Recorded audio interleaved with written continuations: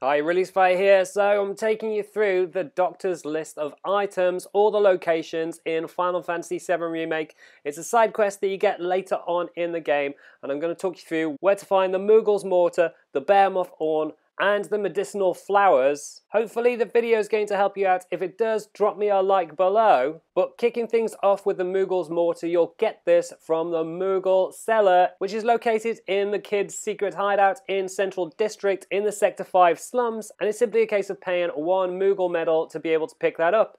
The second of the items is back up at Aeris Church. So head north through Sector 5 slums past the train station and you'll eventually get back to the church and you'll find the medicinal flowers just here on the floor really easy just to pick up. However, for the final ingredient on the doctor's list, you'll need to head over to the Sector 6 slums and talk to Weimer, who will send you underground through the passageway underneath the playground. You'll then be prompted to follow the route around, and that will lead to a boss fight with Behemoth who is an absolute beast to take down. If you're struggling to beat it, then you can check out the video linked above, which will give you some tips on how to take it down.